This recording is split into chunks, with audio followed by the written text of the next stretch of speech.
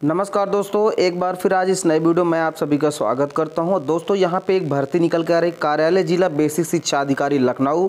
दिनांक 17 ग्यारह 2022 का नोटिफिकेशन यानी कि 17 नवंबर को जारी किया गया है। यहाँ पे दोस्तों, ये शिक्षक भर्ती है तो इसके बारे में मैं आपको डिटेल जानकारी इस वीडियो पर देने वाला हूँ। जैसे कि आप देख पा रहे हैं मुख्य विकास अधिकारी महोदय के आदेश दिनांक 16 ग्यारह 2022 द्वारा जनपद के प्राथमिक, उच्च प्राथमिक एवं कस्तूरबा गांधी विद्यालय, बालिका विद्यालयों में अतिरिक्त अकादमिक अनुसमर्थन प्रदान किए जाने के उद्देश्य से इच्छुक सेवानिवृत्त परिषदीय शिक्षकों के माध्यम से विद्यालयों का सहयोगात्मक पर्यवेक्षण कराए जाने के निर्णय के आलोक में शिक्षक साथी के रूप में चयन हेतु तो बेसिक शिक्षा परिषद उत्तर प्रदेश के नियंत्रणाधीन परिषदीय विद्यालयों से सेवानिवृत्त शिक्षक शिक्षिकाओं से उक्त शासन आदेश में विहित प्रतिबंधों के अधीन निर्धारित प्रारूप पर खंड शिक्षा अधिकारी द्वारा अग्रसारित आवेदन पत्र पंजीकृत डाक से कार्यालय जिला बेसिक शिक्षा अधिकारी अट्ठावन जगत नारायण रोड बेसिक शिक्षा भवन लखनऊ पिन कोड यहाँ पे देखने को मिल जाएगा बाईस छः हज़ार तीन में दिनांक आठ बारह दो हज़ार बाईस की शाम पाँच बजे तक आमंत्रित किए जाते हैं।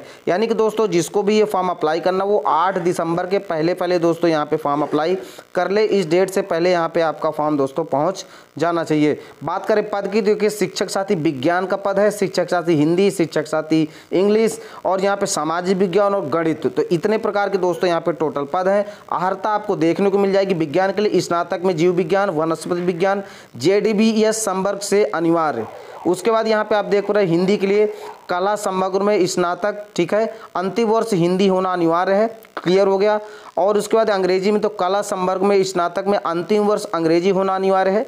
साथ ही शिक्षक सामाजिक अध्ययन के लिए कला वर्ग में संवर्ग में निर्धारित विषय, समाज शास्त्र इतिहास, भूगोल, नागरिक शास्त्र अर्थशास्त्र मनोविज्ञान, सैन्य विज्ञान, सांख्यिकी तथा कृषि से अनिवार्य। क्लियर हो गया।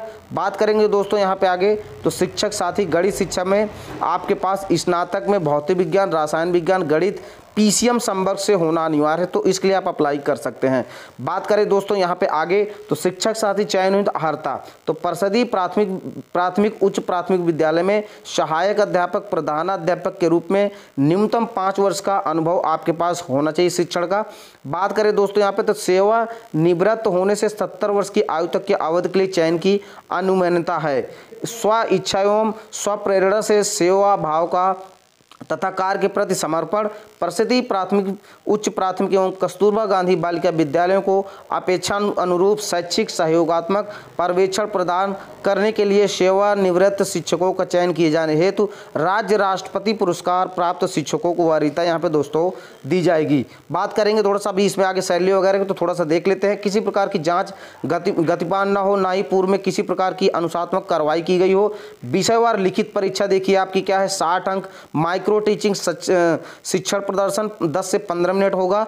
30 अंक का साक्षात्कार 30 अंक और साक्षात्कार 10 अंक का दोस्तों यहाँ पे होने वाला है।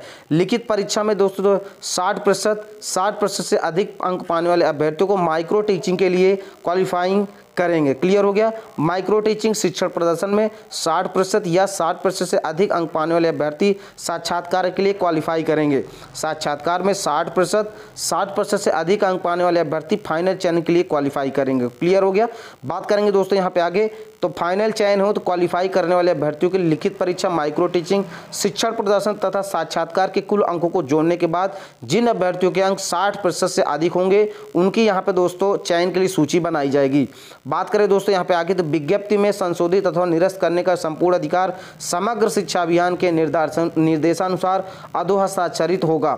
आवेदन पत्र के लिफाफे के ऊपर मोटे अक्षरों में आवेदित पद एवं विषय का नाम सुस्पष्ट अक्षरों में अंकित होना चाहिए। जब आप दोस्तों फॉर्म भरेंगे तो जो लिफाफा होगा, उसके ऊपर आप मोटे अक्षरों में आवेदित पद किस पद के लिए अप्लाई करें और विषय क्या रहेगा वो आपको लिखना है। आवेदन पत्र खंड शिक्षा अधिकारी सेवा निवृत्त वाले विकास खंड से आग्रासित करना अनिवार्य है। शिक्षण अनुभव की गणना हेतु सेवा निवृत्त तिथि को आधार माना जाएगा। बात करें सहयोगात्मक पर्यवेक्षण के लिए शिक्षक साथी को प्रतिमा यहाँ पे कितना मोबिलिटी, भत्ता यानी कि आपको सैलरी दी जाएगी। तो पच्चीस सौ रुपया यहाँ पे दोस्तों दो हज़ार पाँच सौ रुपये मात्र नियमानुसार दे होगा। अन्य किसी प्रकार का कोई भत्ता, मानदेय इत्यादि दे नहीं होगा।